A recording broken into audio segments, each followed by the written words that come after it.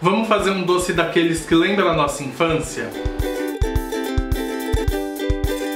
Hoje eu vou te ensinar a fazer pé de moça, que é um doce que eu chamo de primo do pé de moleque. Só que ele é um pouco mais macio e tem um toque de chocolate, o que pra mim deixa o docinho ainda mais gostoso. Afinal, juntando chocolate com amendoim não tem como dar errado. Eu já vou te mostrar a receita. Mas antes, não esquece de deixar seu like aqui embaixo e se inscreve no canal se você ainda não for inscrito. A gente começa colocando o amendoim, o açúcar e a manteiga em uma panela leva para o fogo médio e vai mexendo até que o açúcar comece a caramelizar.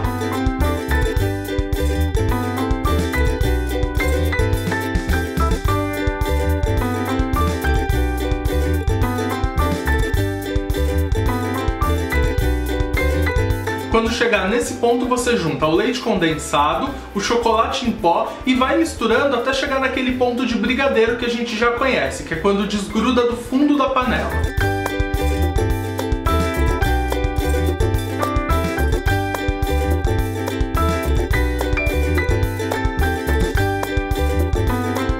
Depois disso, transfere essa mistura para um refratário untado com um pouco de manteiga e deixe esfriar.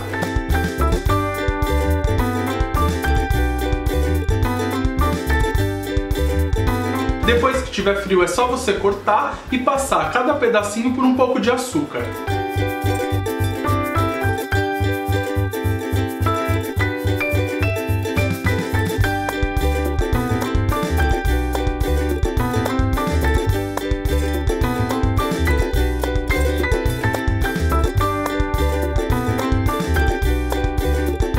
Que vocês tenham gostado dessa receita e que ela tenha trazido para vocês lembranças boas da infância como ela trouxe para mim.